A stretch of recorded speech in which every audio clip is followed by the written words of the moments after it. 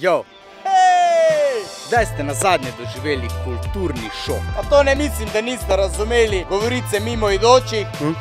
Ali pa da ste slišali albanski rep škapopon? Je, ampak tole.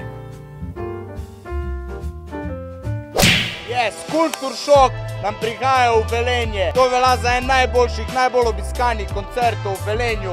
Leta 2012 so res raztrgali na Kunigundi, zdaj se vračajo. 29.6. in to na letni kino.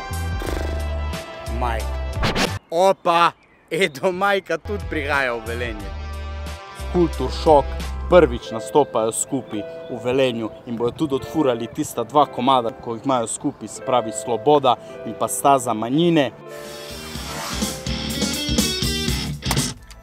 Za aftershock bom poskrbel jaz, pa tudi potrudil se bom, da vas čim bolj ogrejem za vse skupaj, pa to vas ne bo koštalo. 1,6 milijarde evra!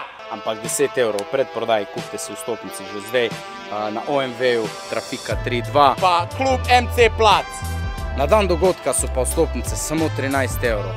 Karte so tako poceni, zato ker je to uradni predfestivalski dogodek za festival Kunigunda, ki se bo odvil šele konca avgusta. V primeru slabega vremena, ma ne gre vse v